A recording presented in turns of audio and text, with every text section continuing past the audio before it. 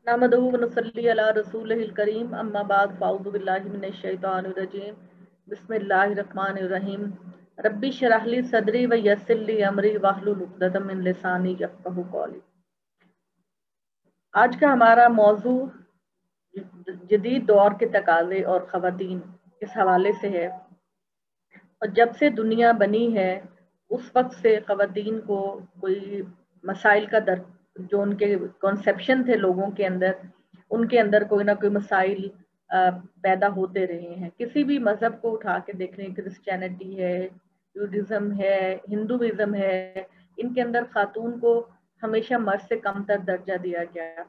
लेकिन जब हम कुरान मजीद को पढ़ते हैं और कुरान मजीद को समझ के पढ़ते हैं तो हमें मालूम होता है कि अल्लाह ताला ने जो अहकाम दिए, वो फॉर एवर अहकाम है हमेशा तक के लिए हैं।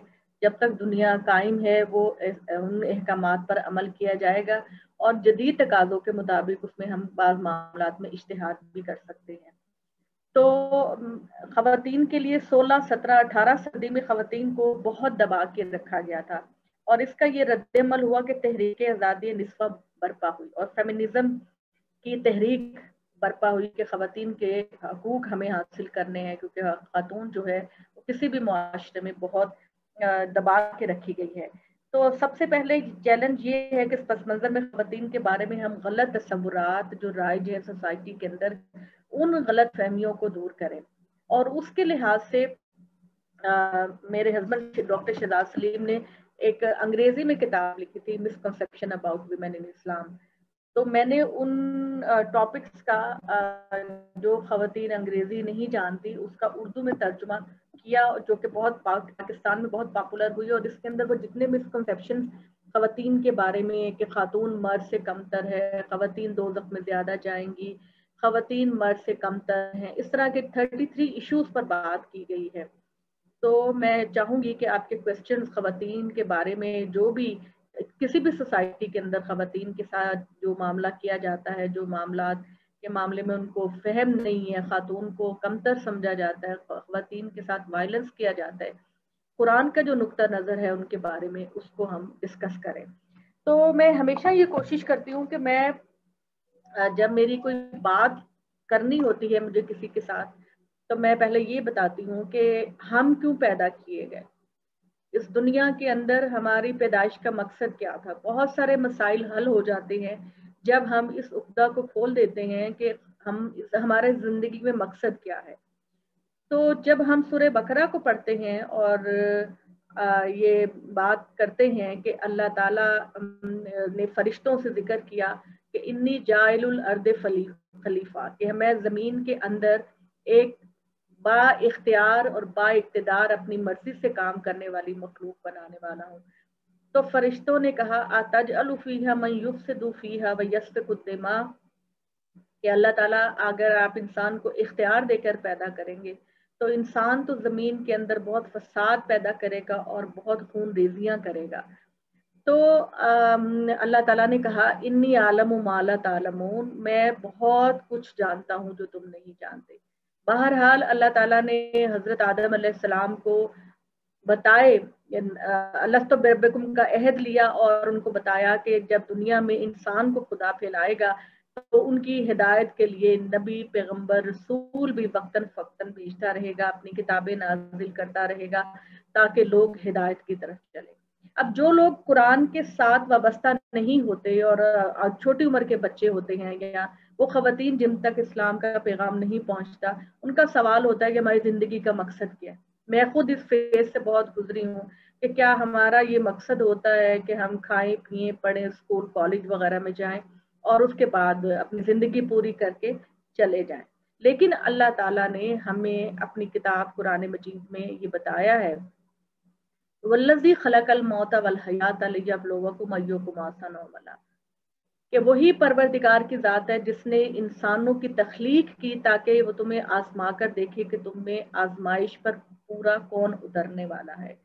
तो ये दुनिया की ज़िंदगी जो है, ये हमारे लिए एग्जामिनेशन है। एग्जामिनेशन हॉल की तरह है कि जिसमें आपको एक लिमिटेड टाइम दिया जाता है और फिर उसके बाद आपको कुछ सवाल दिए जाते हैं जिसको आपको सॉल्व करना है। इस दुनिया के अंदर अल्लाह ताला ने औरत को पैदा किया, मर्द को पैदा किया और उनके दरमियान हकूक और फ़राइज का एक तोज़ुन रखा। और अल्लाह ताला ने ये बात कही कि औरत अपने दायरे में इम्तिहान दे रही है, मर्द अपने दायरे में इम्तिहान दे रहे हैं। दोनों में से कोई किसी पर फोकियत नहीं रखता, दोनों में से कोई किसी पर तरजीह नहीं रखता।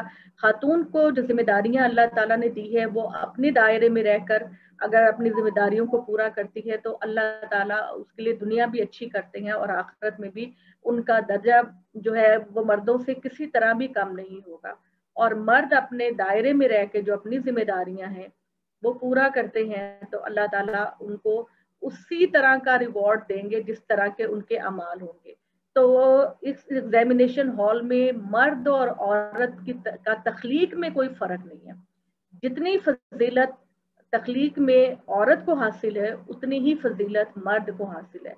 असल में जो तकसीम है, वो हकूक और फ़राइज के अंदर तोज़ुन बरकरार रखने की है। तो अल्लाह ताला ने ये बात बता दी, हमें कुरान मजीद में जगह जगह ये बात बता दी कि मेरी इंसानों को बनाने का असल मकसद जो था, वो उनकी आजमाइश थी। वो अपनी आजमाइश में और वो आजमाइश हमारी मुख्तलिफ़ तरीक़ों से हो सकती है। डिफरेंट, हर एक की डिफरेंट आजमाइश हो सकती है और हमें ये दुनिया आर्जी ज़िंदगी है। ये जो दुनिया की ज़िंदगी है, ये आर्जी ज़िंदगी है। इसमें अल्लाह ताला जितनी भी चालीस, पचास, साठ, सत्तर, अस्सी हर जितनी भी उसकी उम्र है उसके बाद उसको अपने रब के पास जाना है। कुल्लु मन अलैफान का वजह रब का जुल जलाले वाली ग्राम। के अल्लाह ताला ने कहा कि जो दुनिया के अंदर जितनी भी चीज़ें हैं, जो कुछ भी हैं, उनको एक ना एक दिन फना होना है और सिर्फ़ खुदा के साथ बाकी रहेगी।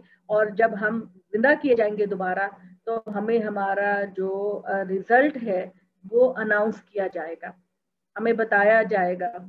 कि तुमने क्या अमाल किए, कैसे अमाल किए, तुम किस किस्म के अजर को डिजर्व करते हो और उस दिन खुदा के जो फैसले अपनी कायनात के बारे में होंगे, वो बिल्कुल अदल और इंसाफ के तकाजों के मुताबिक होंगे। तो कहने का मकसद मेरा ये है कि दुनिया की ज़िंदगी के अंदर अगर खातन को मसाइल कोई पेश आते हैं उन, वो बीमारी है, बच्चा नहीं है, शादी नहीं हुई, फाइनेंशियल प्रॉब्लम है इस तरह के जितने भी मसाइल हैं, या मर्द के जितने भी मसाइल हैं, जो अगर खातून खातून को किसी सोसाइटी के अंदर मसाइल का सामना करना पड़ता है तो मर्द को भी करना पड़ता है। और अल्लाह ताला ने ये बताया कि मैं तुम्हारी आजमाइश करूँगा माल की कमी से, दौलत की कमी से, सेहत की कमी से रिस्क की कमी से, किसी भी तरह मैं तुम्हारा आजमाइश करना, कर सकता हूँ, और इसी आजमाइश पर तुम्हारा अजर बेस्ड होगा। तो हमें अगर कोई इस बात को हम अपने जहन में अगर बिठा ले कि हमें अपने परवरदिगार की तरफ़ जाना है। हम आहिस्ता आहिस्ता इन्ना का कादहन इला रब्बे का कदहन फमुला की है कि हम आहिस्ता आहिस्ता हर एक सांस में अपने रब के करीब होने वाले हैं और कुछ पता नहीं चलेगा कि किस दिन हम अपने परवरदिगार के सामने अपना हिसाब किताब देने के लिए पेश हो जाए। तो हम लोगों को और सबसे ज़्यादा जो कामयाबी की राह दिखाता है वो अल्लाह की किताब दिखाती है। जितना ज़्यादा आप अल्लाह की किताब के साथ जुड़े रहेंगे, उतनी ज़्यादा आपके लिए आसानियाँ पैदा हो जाएँगी। उतनी ज़्यादा आपके अंदर इरादे की पुख्तगी, किरदार की पुख्तगी, सब्र, शुक्र, ये तमाम चीज़ें आपके अंदर तभी पैदा होंगी जब आप अपने परवरदिगार के साथ ताल्लुक को पैदा करेंगे। अपने परवरदिगार के साथ अपने आप को जोड़े रखेंगे तो अल्लाह के दिन पर चलने की राह बहुत आसान होगी। अगर आप इंसान की ज़िंदगी में से आखरत को निकाल दें तो फिर ज़िंदगी के कुछ मानी नहीं रहते। हमारे बहुत सारे राइटर बहुत सारे मुसन्फ बहुत सारे फिलोसफर्स का ये ख्याल था कि ये दुनिया जो है, ये एक थिएटर है। इस थिएटर पर हर कोई आता है और अपने कैरेक्टर को परफॉर्म करता है और फिर चला जाता है। लेकिन अल्लाह ताला ने हमारे हर सवाल का जवाब दिया और ये जवाब दिया कि ये दुनिया कोई थिएटर नहीं है, ये इम्तिहान का है। ये एग्जामिनेशन हॉल है, जिसमें आपको लिमिटेड टाइम में कुछ सवालों के जवाब देने हैं और आपकी प्रमोशन जो है वो इन्हीं, इसी की कामयाबी पर बेस्ड होगी। तो मैं ये चाहती हूँ कि मैं आप लोगों को मौका दूँ कि आपके जहन में खातन से मुतलिक जो सवाल जवाब है या खातून की हैसियत किसी सोसाइटी के अंदर जो है वो कम मानी जाती है। अगर हम देखते हैं तो पाकिस्तान के अंदर मुसलमान ममालिक में खातन के साथ बहुत सारी ज्यादतियाँ होती हैं, पाकिस्तान में बहुत ज़्यादा होती है। दूसरे मजाहिब के अंदर आप देखिए कि इंडिया के अंदर भी खातन के साथ कितने मसाइल हैं। और वो कॉन्सेप्ट ही नहीं क्लियर होता कि खातून की हैसियत दुनिया में क्या है। तो बाहर के ममालिक, मगरबी ममालिक में भी हम अगर देखते हैं तो खातन के साथ बहुत सारे मसाइल का सामना करना पड़ता है। हमारे जहनों में सवाल पैदा होता है कि कुरान ने खुदा, औरत को मीरास में आधा हिस्सा क्यों दिया? औरत की गवाही आदि क्यों है? इस तरह के सवाल जो है, वो हमारे जहनों में उठते हैं। और अल्हम्दुलिल्लाह, हमारी की जो किताब है ये बहुत मुख्तर तौर पर इसमें आर्टिकल्स लिखे गए हैं लेकिन पूरे दलाइल के साथ लिखे गए हैं कि जितने भी इश्यूज़ खवतिन के मुताबिक पैदा होते हैं उनको हम दूर कर सकें। तो मैं ये चाहूँगी कि आप लोग अपने सवालों का आगाज़ करें ताकि जितना जितना सवाल इंसान करता है उतनी आ, उसका जहन वाजे होता है उतना खुलता है। जितना आप सवाल करने से सीखते हैं आप पढ़ने से नहीं सीखते। तो मैं आप लोगों से गुजारिश करूँगी कि आप लोग अपने सवालों की इब्तदा करें और हम इस तरीके से अपनी बहस को आगे लेके चलें। जी बहुत बहुत शुक्रिया मैम। जितने जो पार्टिसिपेंट्स हैं अगर आपके पास कोई सवाल है तो आप लोग इसमें हैंड रेस का ऑप्शन है यहाँ पर। आप हैंड रेस कर लें इधर जूम में। उस तरह जो है आप सवाल अपने रख सकते हैं। अगर आप इजाज़त दें तो मैं अगर जो सवाल थे उनको रख लूँ। जी जी बिल्कुल। हम हम लोग के यहाँ ये बहस बड़ी रहती है हिंदुस्तान में कि एक मुसलमान घराने में एक अगर कोई खातून पैदा हुई है या कोई लड़की पैदा हुई है तो वो जिस माहौल में पलती है बढ़ती है तो वो माहौल उसको कुछ चीज़ें तरबियत उसको देता है। वो माहौल एक जहनीत बनाता है। वो जहनीत जब वो मसलन लेके दुनिया में लेके जाती है तो उसको फिर क्या कहते हैं आप कहते हैं चैलेंजेस फेस होते हैं। तो एक कोई नई लड़की या मुसलमान औरत जो इस जहनीत को लेकर जो एक पूरा खाका जो बन के आता है सोसाइटी का, एक मुस्लिम सोसाइटी का, वो लेके जब दुनिया के पास जा आती है तो वो कॉन्फ्लिक्ट जो पैदा होता है, उसको वो किस तरह एड्रेस करे? मतलब ये जो बेसिक इंस्टिंक्ट है, उसको किस तरह एड्रेस करे? जी, ये देखिए, जब इस सवाल का जवाब तो हमारे रसूल सल्लल्लाहु अलैहि वसल्लम ने भी दे दिया कि दुनिया के अंदर जितने भी बंदे पैदा होते हैं, मखलूक़ात पैदा होती हैं, वो अपने जहन के अंदर खुदा के वजूद का तस्वुर लेकर पैदा होते हैं। जिस तरह अलस्तो बेरबकुम के अहद की बात की जाती है कि अल्लाह ताला ने हमारी पैदाइशों से पहले आदम की पीठ से जुरियत आदम को निकाला और उनसे वादा लिया कि क्या मैं तुम्हारा परवरदिगार नहीं। और नबी सल्लल्लाहु अलैहि वसल्लम ने भी फरमाया कि जो हर बच्चा जो है वो सही इस्लामी फितरत पर पैदा होता है, उसका माहौल है जो उसको यहूदी बनाता है या नसरानी बनाता है। लेकिन अल्लाह ताला ने इंसान को फहम दिया है, इंसान को सोचने समझने की सलाहियत दी है। वो सलाहियत इंसान को हमेशा कोशिश करता, करती है कि सीधे रास्ते पर रखे। अगर उसको माहौल से कोई गलत चीज़ मिलती है, सोसाइटी से गलत चीज़ मिलती है तो अल्लाह ताला की तरफ़ से जो इंसान को इंसान को इल्हाम किया गया है कि वो खुदा का बंदा है, उसकी सिरात मुस्तकीम यही है तो उस राह पर चलने का शूर अल्लाह ताला ने हर बच्चे के अंदर रखा है। तो जब बच्चा इस दुनिया के अंदर आता है और फिर ज़िंदगी के अंदर आजकल के ज़माने के अंदर तो आप देखिए कि कोई भी इंसान के दिन में कोई सवाल पैदा होता है तो उसके जवाब के लिए पूरा लिटरेचर मौजूद होता है। तो आ, कोई खातून अगर देखिए जब कोई इंसान गलत रास्ते पर चलता है तो कुरान मजीद ने सूर्य क्यामा में कहा कि मैं नफ्स लवामा की कसम खाकर कहता हूँ कि इंसान का जो नफ्स लवामा है यानी ज़मीर है वो इंसान को ज़रूर उसको टॉर्चर करता है, उसको कहता है कि तुम गलत रास्ते पे चल रहे हो, तुम्हें सीधे रास्ते पर चलाना है। तो इंसान की हिदायत के लिए अहद अलस मौजूद है, जिस पर हम गौर करें तो हमारे अंदर मौजूद है। नबी सल्लल्लाहु अलैहि वसल्लम की ये हदीस मौजूद है कि इंसान सही इस्लामी फितरत पर पैदा होता है, उसका माहौल उसको डिफरेंट फिकों में तकसीम कर देता है। और फिर जब हम गौर करते हैं तो हमारे अंदर नफ्स लवामा जिसे कुरान में जिसने कहा, जिसको मैं उर्दू में ये कहती हूँ कि जमीर जमीर देकर भेजा कि जब आप अच्छे रास्ते पर चलते हैं तो आपको एक सेटिस्फेक्शन महसूस होती है, एक खुशी महसूस होती है। और जब आप गलत तरफ़ जाते हैं, गलत रास्ते की तरफ़ जाते हैं, कोई ऐसी चीज़ जो आपके आप समझते हैं कि मुझे नहीं करनी चाहिए थी, वो आपको परेशान करती है और आप, वो मौका होता है जब इंसान हिदायत हासिल सबसे बड़ी तराजू जो है वो नफ्स लवामा है, क्योंकि जब इंसान ये गौर करता है कि दुनिया में खुदा ने मुझे ज़मीर अता किया, नफ्स लवामा अता किया, कि जो मुझे चेक करता रहता है कि मैं कहाँ सही हूँ, क्या गलत हूँ, और फिर आखिरत में भी तो अल्लाह एक बहुत बड़ी अदालत लगाएगा, जिसमें हमारे मामला का, हमारे हिसाब किताब का पता चलेगा। तो मेरा ख्याल है कि जब कोई लोग या कोई खातन या कोई भी इंसान गलत रास्ते पे चलता है तो उसको ये बताना चाहिए कि तुम अपने नफ्स पर गौर करो। क्या इस कुरान मजीद ने इस एहसास को, जो जिसको हम नफ्स लवामा कह रहे हैं, हर मर्द में रखा है, हर औरत में रखा है, हर मज़हब में रखा है, हर बच्चे में रखा है।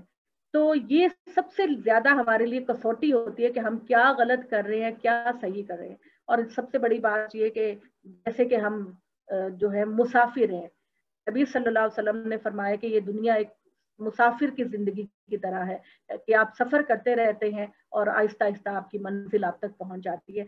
तो आ, हम लोग अगर अपने शौर से काम लें अपनी समझबूत से काम लें और जो लोग हमारे नज़दीक इस नतीजे पर पहुँचना चाहते हैं, उनके साथ लॉजिकल आर्ग्यूमेंट करें, उनके साथ उनके उनके ऊपर बात को ठोसने की कोशिश नहीं करें लॉजिकल जो डायलॉग है वो उनके साथ करें उनसे बात करें, उनको दलाइल दें। तो मेरा ख्याल ये है कि हर इंसान के अंदर ये जो सोच और समझ का पहलू है, वो उसको कहेगा कि तुम सही रास्ते को चूज़ करो, तुम ठीक रास्ते को चूज़ करो। तो इंसान की जो आँखें हैं और इंसान का जो फहम और शूर है वो अगर खुला रहे तो अल्लाह का ये वादा है कि जो इंसान एक तो कुछ तो इंतज़ाम अल्लाह ने कर दिए इंसान की हिदायत के लिए और कुछ इंतज़ाम ये होता है कि जब इंसान खुद गौर व फ़िक्र करता है तो उसके लिए हिदायत के बहुत सारे रास्ते बहुत शुक्रिया। मैं एक और सवाल करता हूँ फिर आप लोग जितने हैं अपना हैंड रेज कर लें। हाँ ये आ, आ, हम लोग क्या इंडिया में खास तौर पे जिस तरह हम लोग हैं तो हम लोग एक आप कह सकते हैं एक पॉलिटिकल माइनॉरिटी के हैसियत से हैं। तो इसमें हमारी हमारी जो आइडेंटिटी है हमारा रहन सहन है वो एक बड़ा एक एक आप कह लें प्रोजेक्शन बन जाता है। ऐसे हाँ। तौर में हमारे यहाँ ज़ोर दिया जाता है कि जितनी मुसलमान औरतें हैं वो अपने आप को और मुसलमान कम से कम दिखाएँ दुपट्टा और लें नकाब और लगाएँ। और मतलब दीन का जो आप ये कह सकते हैं ना जो रिप्रेजेंटेशन है, उसको ज़्यादा बनाए। तो ऐसे मौके पे मतलब आप क्या एडवाइस देंगे कि मतलब ये खातून इस इस चीज़ पे ज़ोर दें अपनी आइडेंटिटी को बचाने के लिए या असल में अपना दीन समझने की कोशिश करें?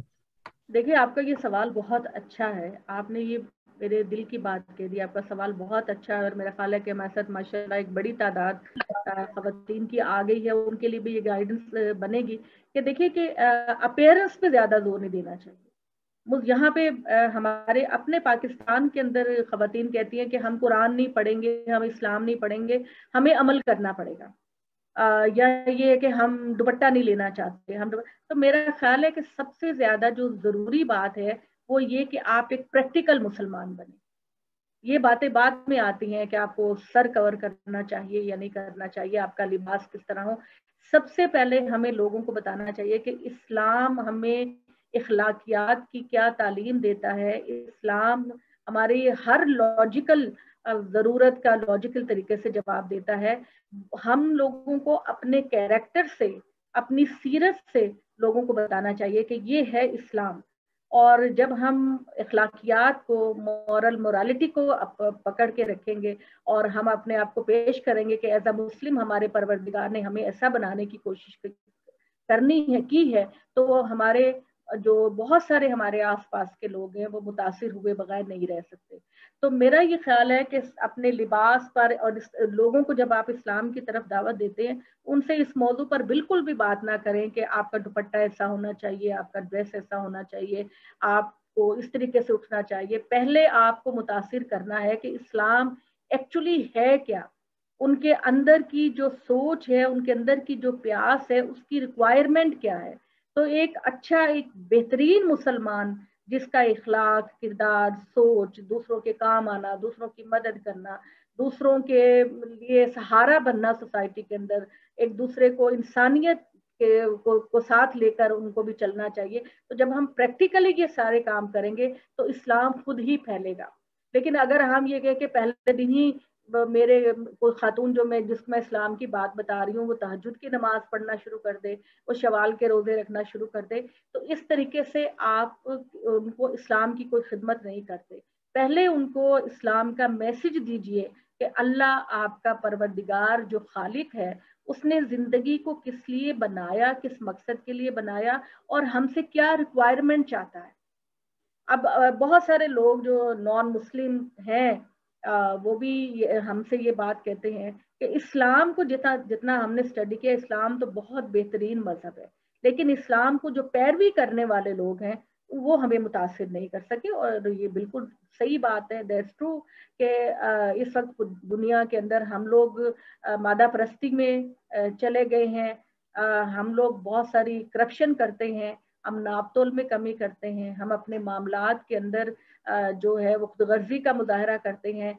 हम दुनिया की बलतू से रून हयात दुनिया वाला खैरात खैर का जैसे कुरान मजीद ने कहा कि तुम दुनियावी ज़िंदगी को तरजीह देते हो और आखरत को नज़रअंदाज करते हो।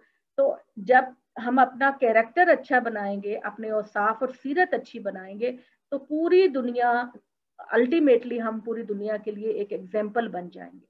तो बच्चों की तरबियत बच्चों का इखलाक संवारना, अपने आप को एक बेहतरीन इंसान पूरी दुनिया के सामने पेश करना, इस्लाम को एक बेहतरीन मज़हब जो जैसा कि वो है, नबी सल्लल्लाहु अलैहि वसल्लम की हदीस से पता चलता है, कुरान मजीद से पता चलता है, सुन्नत से पता चलता है कि इस्लाम कितना बेहतरीन जो हमें दुनिया के मसाइल का सलूशन भी देता है और आखिरत तो डेफिनेटली उसने कहा कि मैं बंदों को चूज़ करूँगा, अपने जो इस दुनिया में इम्तिहान दे रहे हैं उनको चूज़ करूँगा और बेहतरीन अजर दूँगा।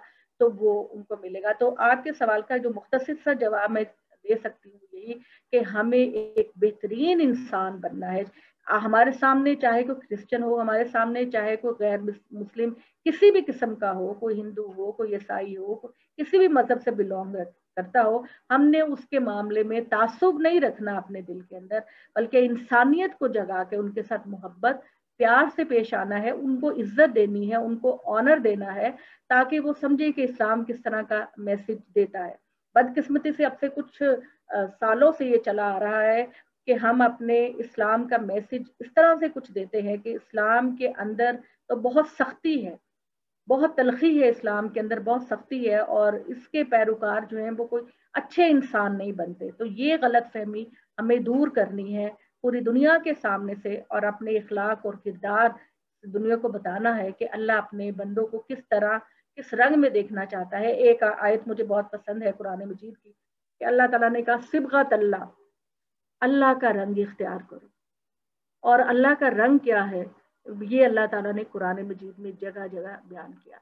मैं जब किसी जगह जाती हूँ और मुझे ये कहा जाता है कि आप आए और कुछ बोल के दिखाएँ तो मैं प्रेफर करती हूँ कि सूरह बनी इसराइल की वो जो आयतें हैं, जो कमांडमेंट्स हैं, कि जिसके अंदर पूरा दीन अगर आप दस, बारह, तेरह आयते हैं, पूरा दीन उसके अंदर खुदा ने बयान कर दिया सबसे पहला हक अल्लाह का है, उसके बाद वालदेन का है, उसके बाद सोसाइटी का है, उसके बाद सोसाइटी के, आपके जो रिश्तेदार हैं, उनका हक है आपके ऊपर। सोसाइटी के यतीम, मस्किन, मसाइल, मुसाफिर, साइल, उनका हक है। तो इस तरीके से हम एक बहुत ही खूबसूरत और एक बेहतरीन, बहुत ही अच्छे इंसान बन सकते हैं। और आप ये देखिए कि जब हम इस तरह की चीज़ को टारगेट बनाएँगे तो इन ताला पूरी दुनिया जो है वो हमारे इस्लाम से मुतासर होगी और हमारी तरफ़ रजू करेगी इस्लाम के लिए कि इस्लाम को हमको समझना है। उनके सवालों के जवाब हम लॉजिकल तरीके से दें। जी बहुत बहुत शुक्रिया। यहाँ पर आयशा नाज साहब हैं उन साहब उनका सवाल है आप अपना माइक अनम्यूट कर लें और सवाल कर लें।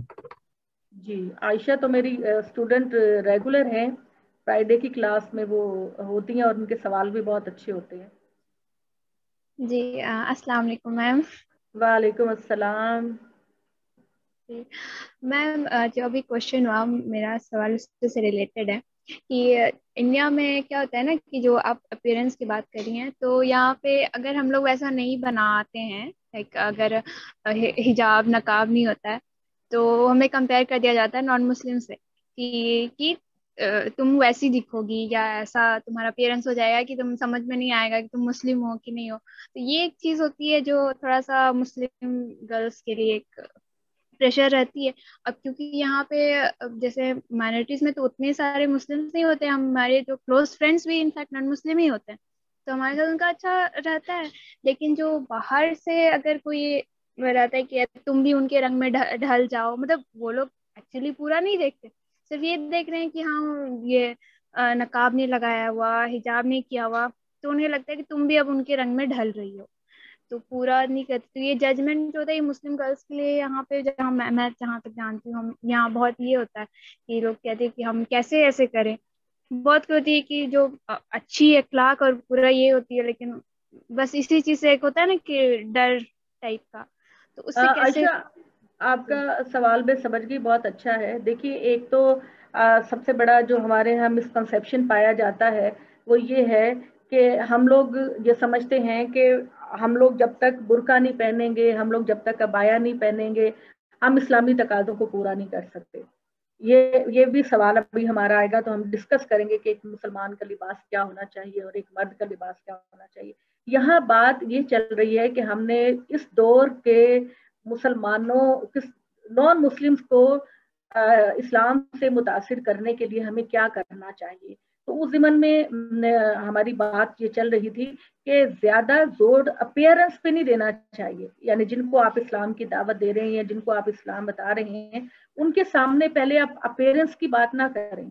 वो कहेंगे, ये रिजड किस्म के मुसलमान हैं और ये खातन को दस्ताने पहनाते हैं सबसे पहले आपको इखलाकी चीज़ों को एडॉप्ट करना है।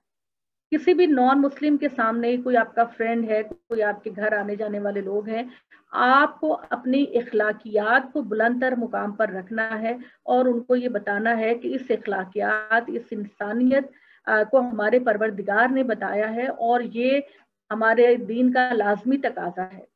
तो आप देखिए, अभी आप ये सवाल करेंगे कि कुरान मजीद हमसे क्या तकाजा करता है तो कुरान मजीद हमसे ये तकाजा नहीं करता कि हम अबाया लाजमी तौर पे पहने, हम लाजमी तौर पर सकाफ पहने, हमारी आइडेंटिटी इस तरह से होगी। वो एक सोसाइटी का मसला है कि अपनी आइडेंटिटी बनाने के लिए वो क्या क्या चीज़ को चूज़ करता है, किस चीज़ को चूज़ करता है, वो एक अलग बात है।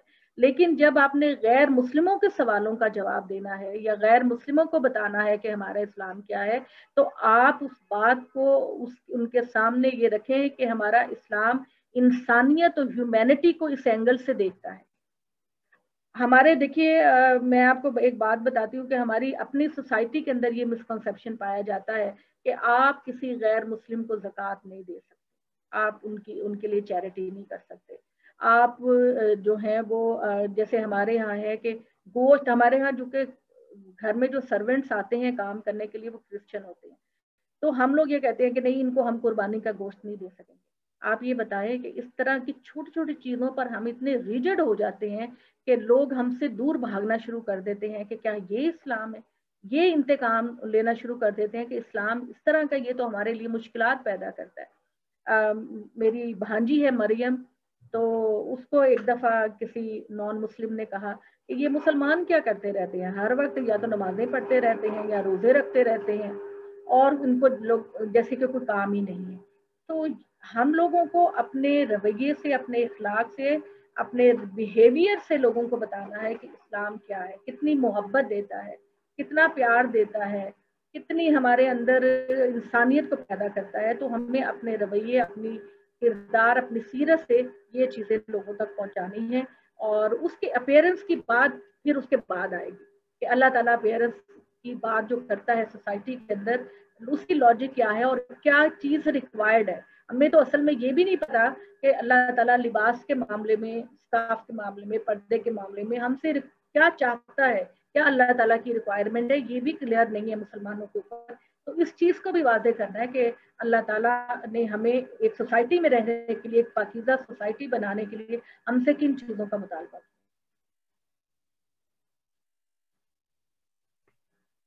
बहुत शुक्रिया। और किसी का तो यहाँ पर हैंड रेजिंग अगर आप लोग के सवाल हैं तो आप वो हैंड रेज का ऑप्शन कर लें ताकि मैं फिर उसी हिसाब से आप लोग को चांस में सवाल करने का। जी फरीदा ताहिरा सवाल है, साहिबा आप माइक अनम्यूट कर लें और सवाल कर लें आप।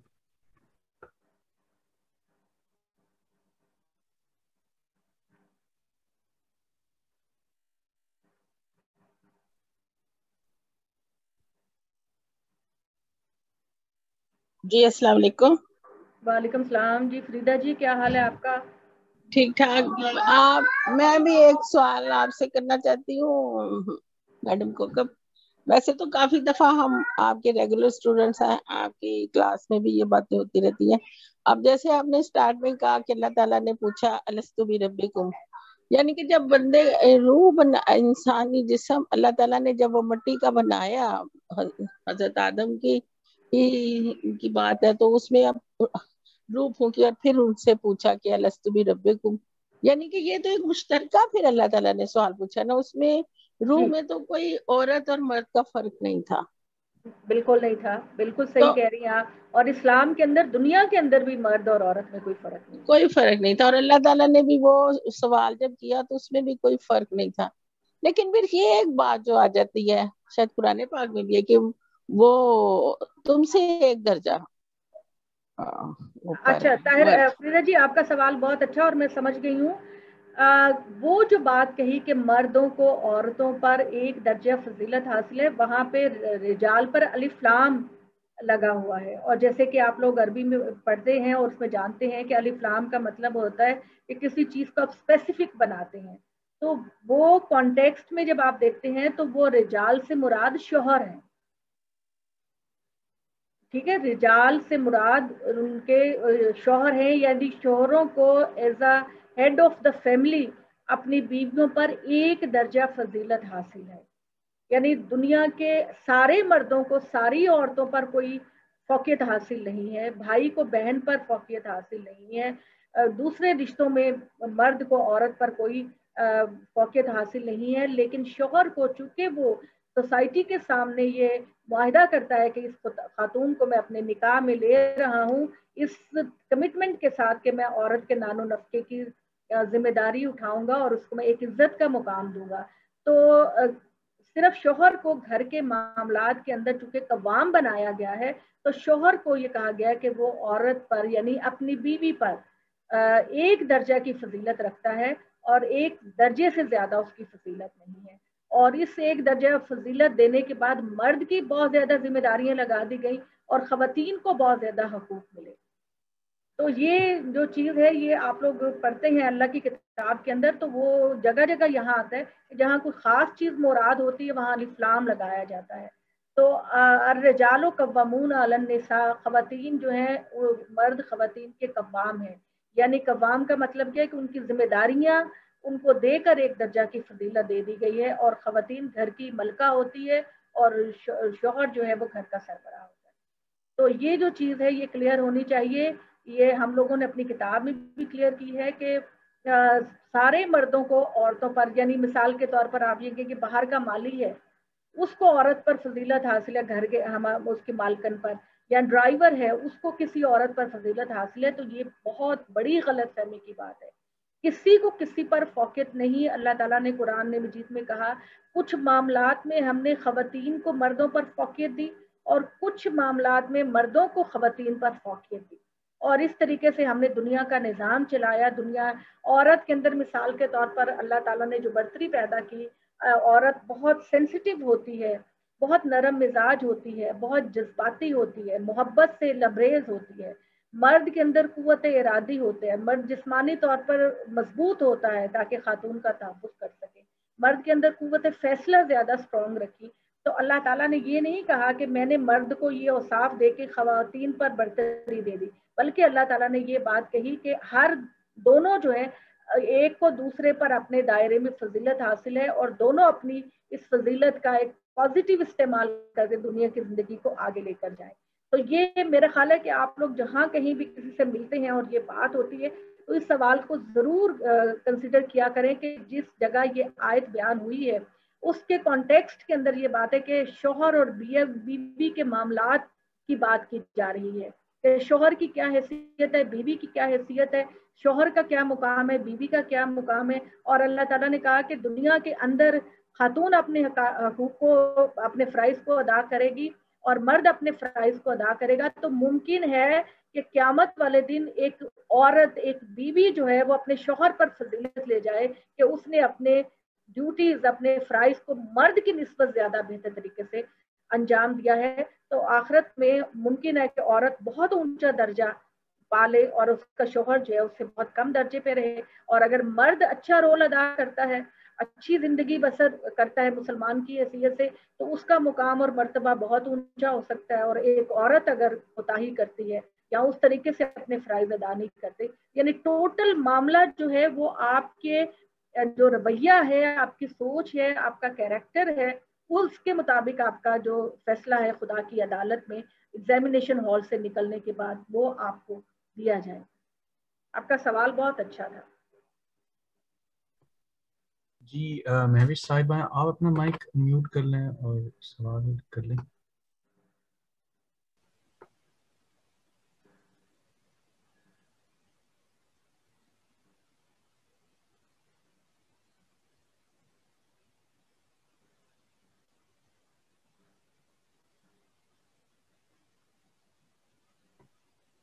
जी, आप अपना सवाल कर सकते हैं। माइक अनम्यूट है।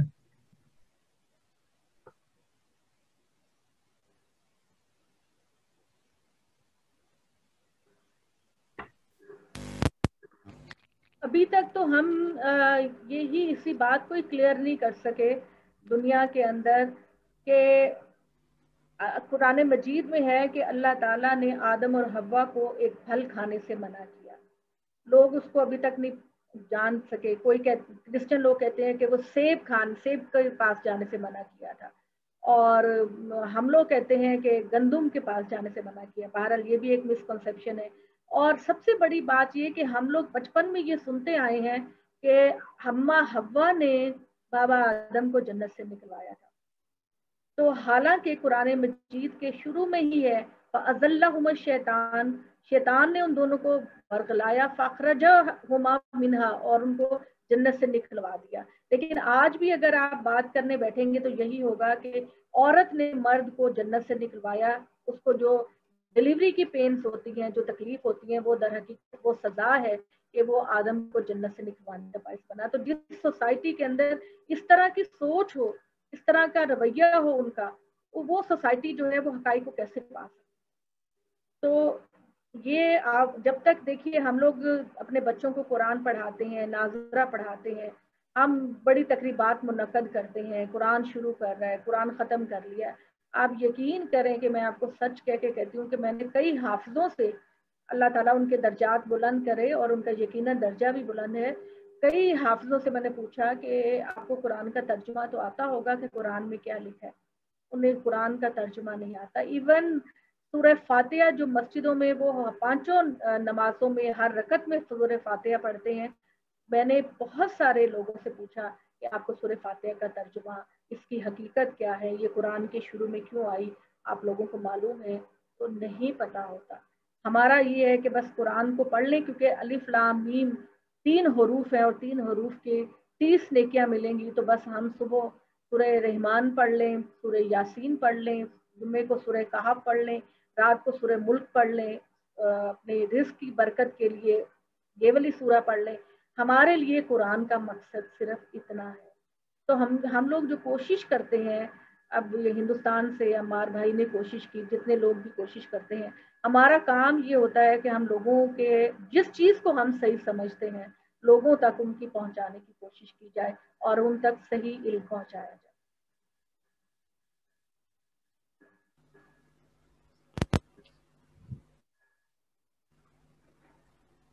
अस्सलाम वालेकुम वालेकुम अस्सलाम मैम मुझे ये पूछना था कि जो हदीस है कि हुजूर वसल्लम ने जो है जहन्नुम में औरतें ज़्यादा देखी हैं। तो वो किस वजह से है? मतलब ये ऑथेंटिक हदीस है या नहीं? और वो मतलब क्यों होगा ऐसा? क्योंकि हम देखते हैं कि ज़्यादातर औरतें ही पिस रही होती हैं मर्दों के मुजालिम के नीचे। तो फिर देखिए हम लोग करते ये हैं कि जो चीज़ हमारे मुफाद में होती है ना वो हम ले लेते हैं। और जो चीज़ हमारे मुफाद में नहीं होती, उसको छोड़ देते हैं। जैसे कि मैंने कहा कि हमारी सोसाइटी के अंदर, हमारी सोसाइटी के अंदर, बल्कि आज से हज़ारों साल पहले भी औरत को कमतर समझा जाता था। औरत की हैसियत कमतर होती थी। नबी सल्लल्लाहु अलैहि वसल्लम ने अगर किसी मौके पर, ये वो मौका था कि आप वसल्लम ईद की नमाज़ आपने पढ़ाई और पहले आप वसल्लम ने मर्दों में खुतबा दिया, फिर ख़वातीन में जाकर ईद का खुतबा दिया और इस बात में इस्लाम ने ख़वातीन को बहुत इनक्रेज किया है कि वो जुम्मे की नमाजें और ईदैन की नमाजें कम अज़ कम मस्जिद में जाके पढ़ें ताकि उनको दीन का इल्म हो। नबी सल्लल्लाहु अलैहि वसल्लम ने अपनी ज़माने में एहतमाम किया था कि मस्जिद नबी में ख़वातीन पाँचों वक्त की नमाज़ पढ़ती। थी तो हम ये हमारे हमारे साथ ये किया गया कि हम लोगों को चूँकि इस्लाम का कोई शौर नहीं है एक मिंबर पर बैठने वाले मौलवी साहब जो बात कह देते हैं हम उनको आ, मान लेते हैं सच मान लेते हैं। नबी सल्लल्लाहु अलैहि वसल्लम ने मर्द को बहुत सारे मौक़ों पर तलकीन की है ख़वातीन के हकूक़ के लिए। बहुत सारी हदीसें हैं, मगर आपको कोई नहीं बताएगा। आप सल्लल्लाहु अलैहि वसल्लम ने अपने हजतुल विदा पे जो खुतबा दिया, उसमें ये फरमाया, मुझसे खवतीन के मामले में अपनी नसीहत को कबूल करो। खवतीन के मामले में जो मैं वसीयत कर रहा हूँ, नसीहत कर रहा हूँ, उसको कबूल करो। उनका हक ये है कि वो तुम्हारे बिस्तर पर किसी गैर मर्द को ना आने दें। और उनका हक तुम्हारे ऊपर ये बनता है कि तुम उनको अच्छा खिलाओ अच्छा पिलाओ। मुझे ये बताइए कि ये आज तक किसी ने ये बात कही है चंद एक लोग, मैं जब भी आप बात करते हैं तो एक्सेप्शन होती है उसके अंदर। चंद लोग आम तौर पर यही मेंबरों पे तालीम दी जाती है कि ख़वातीन को इस्लाम ये कहता है। अच्छा तो नबी सल्लल्लाहु अलैहि वसल्लम ने ये बात कही और ख़वातीन के पास आप खुतबा देने के लिए आए तो आपने फरमाया कि मैं जब मुझे मेराज में मुशाहिदा कराया गया, अव्वल तो उसमें भी क्वेश्चन है कि ये हदीस सही है या नहीं है, ये रवायत सही है कि नहीं है। आप वसल्लम ने कहा कि मुझे जहन्नुम का मुशाहिदा कराया गया, उसके एक हिस्से में खवतीन की तादाद ज़्यादा थी। खवतीन ने पूछा कि या रसोल्ला वो क्यों वो क्यों खवतीन की तादाद किसी एक हिस्से में, यानी कि पूरे जहन्नुम के अंदर, किसी एक हिस्से में, किसी एक कोने में खवतीन ज़्यादा थी, उन्होंने पूछा, या रसोल्ला वो क्यों? तो आपने फरमाया, इस वजह से कि शोहर उनको बेहतरीन खिलाता पिलाता है, अपनी हैसियत के मुताबिक उनकी ज़रूरतें पूरी करता है, उनके साथ बेहतरीन मामला करता है, और वो जब नाराज़ होती हैं तो ये मियाँ को ताने देती हैं कि तुमने हमारे लिए किया ही क्या। हमने तो सारी ज़िंदगी बहुत मुश्किल में गुजारी, तुमने तो हमारी ज़रूरियात को पूरा नहीं किया। तो कुछ खातन ऐसी नाशुक्री करती हैं, उनको ऐसा नहीं करना चाहिए। देखिए, यहाँ उस मर्द की बात नहीं हो रही, जो घर में निकम्मा बन के बैठा रहता है, कमाने नहीं जाता, बीवी की नफ्सियाती जज्बाती जरूरतों को पूरी नहीं करता, उनके नानो नफ्के को। मैं उस मर्द की बात नहीं कर रही, मैं उस मर्द की बात कर रही हूँ कि जो बहुत अच्छा मर्द है, बहुत बीवी के हकूक को जानने वाला है, उनकी ज़रूरतों को जानने वाला है, उनके गम में शरीक होता है, उनकी खुशी में शरीक होता है और बीवियों का रवैया गलत होता है। और ऐसा हमने अपनी सोसाइटी में देखा कि बीवियों का रवैया गलत होता है, वो कभी गुस्से में होती हैं तो ये कह देती हैं कि तुमने मुझे ये जोड़ा नहीं लेके दिया, तुमने तो आज तक मेरी ज़रूरत को पूरा नहीं किया, तुम तो अपनी माँ और बहनों की तरफ़ ज़्यादा रुझान है। इस चीज़ को डिस्करेज करने के लिए नबी सल्लल्लाहु अलैहि वसल्लम ने खातन को नसीहत की कि वो शुक्रगुजारी का रवैया इख्तियार करें। जिस तरह मर्द करते हैं, इसी तरह तुम भी अपने शोहरों के साथ शुक्रगुजारी का रवैया इख्तियार करो।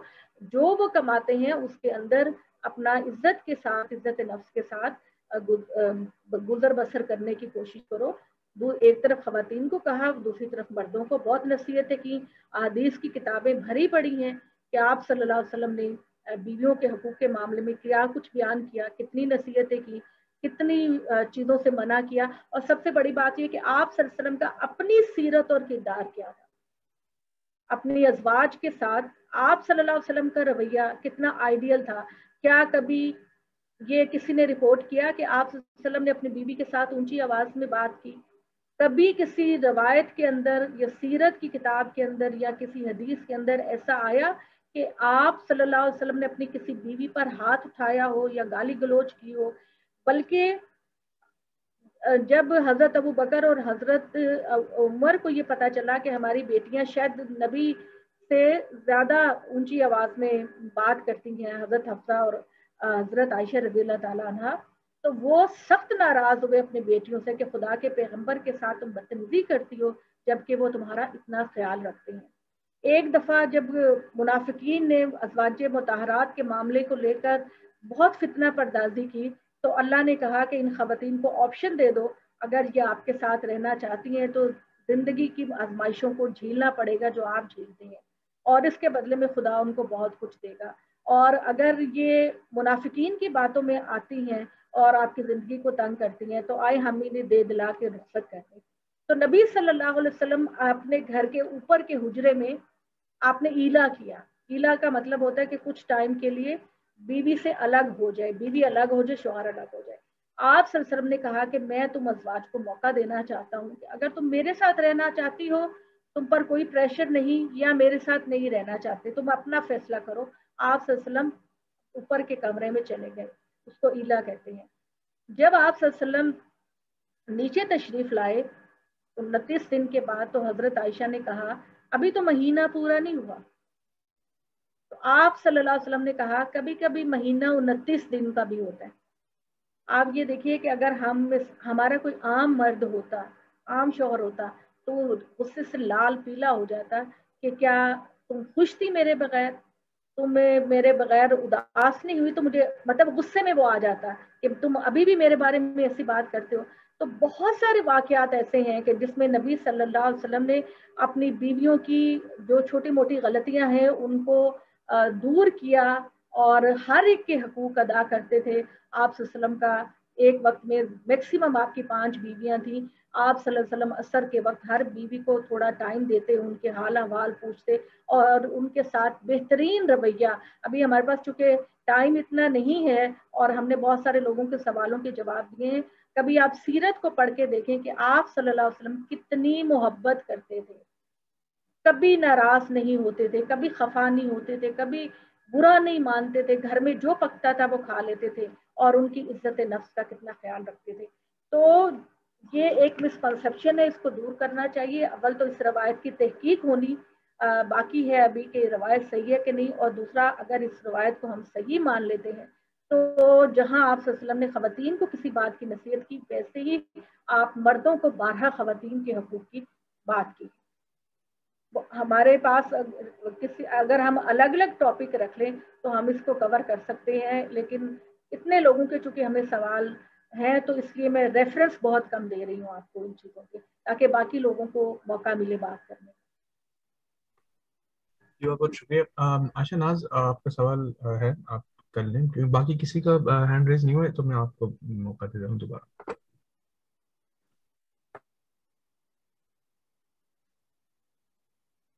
हमारे साहब आपने मुझे कुछ कहा मुझे सुनाई नहीं दिया। नहीं नहीं मैं ये यहाँ पर हैंड रेज है आयशा नाज साहब का तो मैं उनको अच्छा। जी जी। जी हेलो जी वालेकुम अस्सलाम। मैम और मेरा सवाल था कि मेरा एक्चुअली कल्चरल बेस्ड सवाल है तो क्या मैं उसे करूँ? मैं थोड़ा सा आप ऊँची आवाज़ में बात कीजिए मुझे थोड़ी आवाज़ कम आती। सॉरी वो मैम मेरा थोड़ा कल्चरल बेस्ड पे एक सवाल है बेसिकली एक किसी का प्रॉब्लम है तो मैं डिस, मैं पूछूँ प्लीज़ जी मैम आवाज़ नहीं आ रही। जी जी आप पूछिए आप मैं सुन रही हूँ आपकी बात। जी मैम एक शख्स है तो उनका क्या है कि पुराने जो कल्चर जो चलते थे ससुराल वाले तो उसमें क्या हुआ कि वो जो लेडी हैं वो बहुत ज़्यादा डिप्रेस्ड हो गई हैं। मतलब डिप्रेस्ड फ़िलहाल तो नहीं, पर वो जो उनके साथ हुआ बहुत सख्त किस्म का जो ट्रीट उनके साथ किया गया था पहले में, लेकिन अभी माशाल्लाह से हालात बेहतर हैं, सब कुछ सब कुछ ठीक है।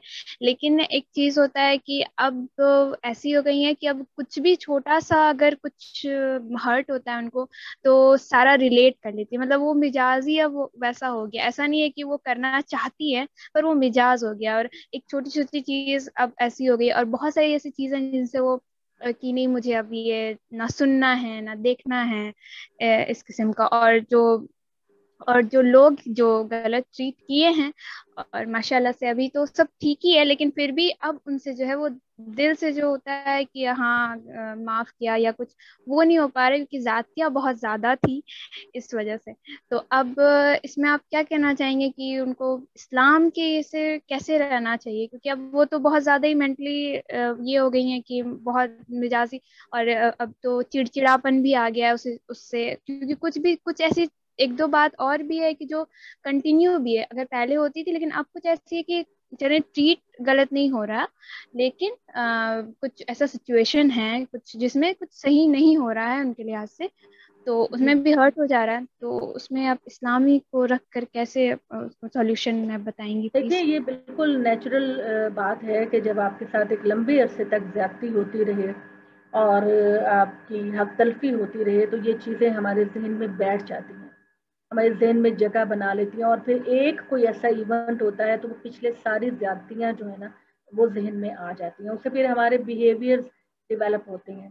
तो इसमें उनको दो काम करने चाहिए। एक तो देखिए, जैसे मैंने अपनी गुफ्तु के शुरू में कहा कि हमें सब्र इस्तकामत देने वाली बात यह है कि हमारा ईमान है कि हमें अल्लाह के हुजूर जाना है। और दुनिया की हर तकलीफ़ जो हमने सबर के साथ सही, उसका अजर वहाँ मिलेगा। हज़रत आयशा रज़ी अल्लाह की एक रवायत है कि दुनिया में आपको जो भी मुश्किल आती हैं, वो चाहे किसी भी नौीयत की हो, जब आपको क्यामत वाले दिन उसका अजर दिया जाएगा तो आप देखकर हैरान हो जाएँगे और आप कहेंगे, काश है अल्लाह, मुझे दुनिया में तूने कुछ ही ना दिया होता और यहाँ की नेमतें उसके बदले में मुझे मिल जाती। तो ये हज़रत आयशा की रवायत है।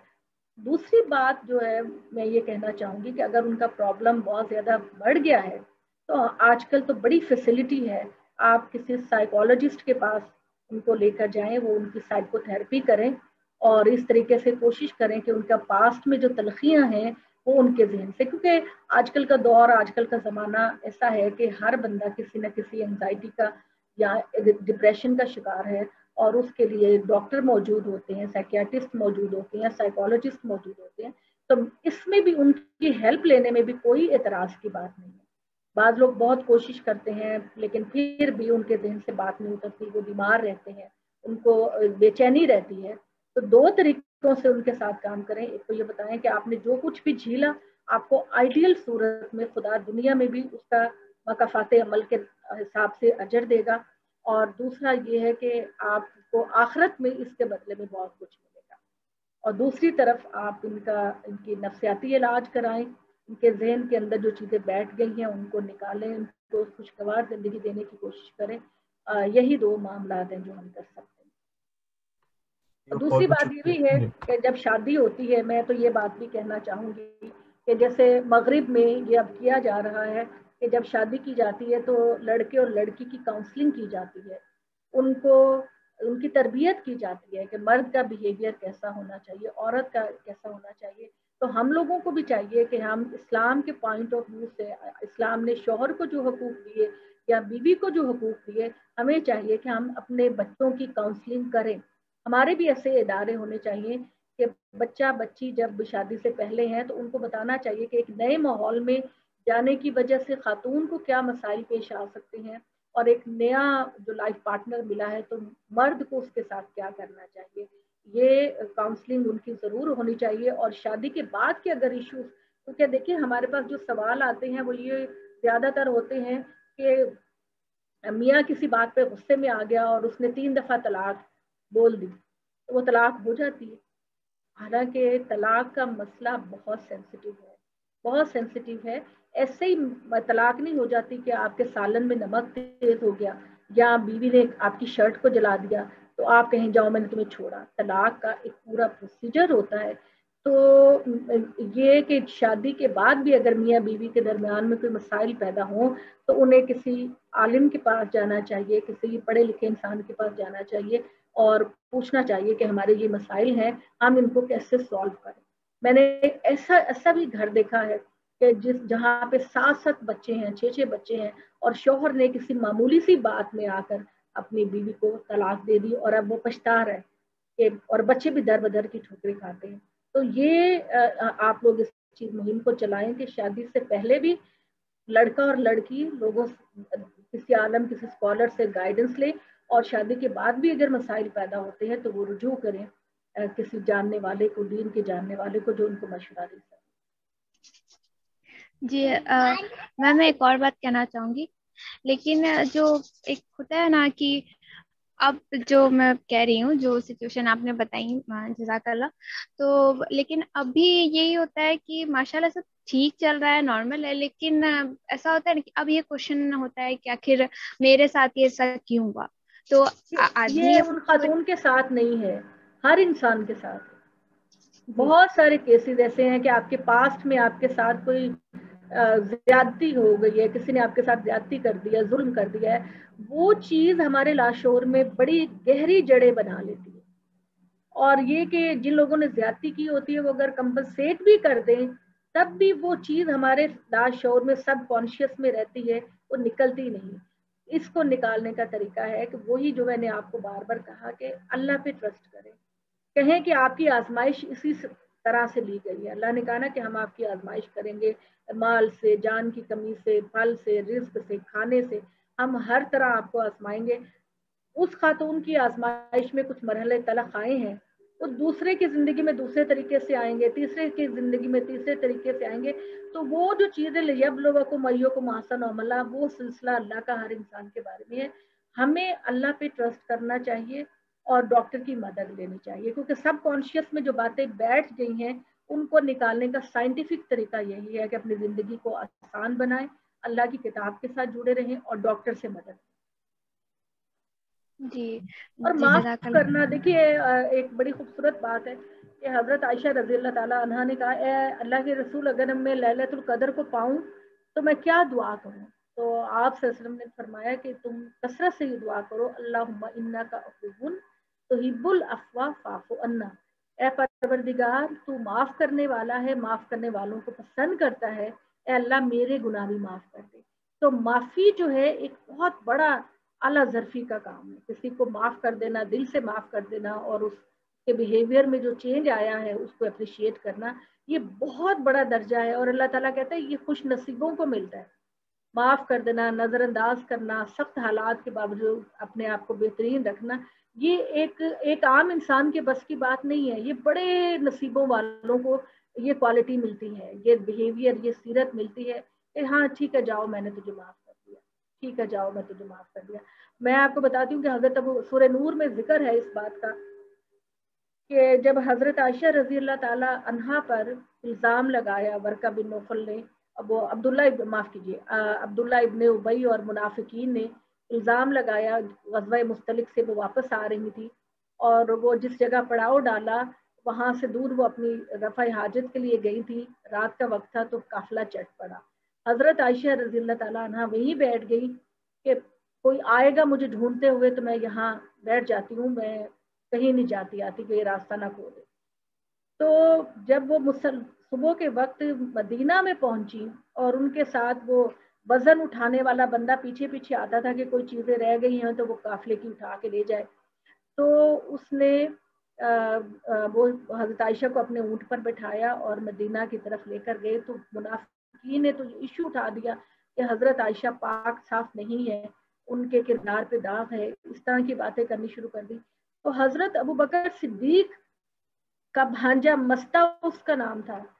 वो भी इन बातों में शामिल हो गया। उसने भी बढ़ चढ़ कर हज़रत आयशा पे इल्ज़ाम लगाने शुरू कर दिए।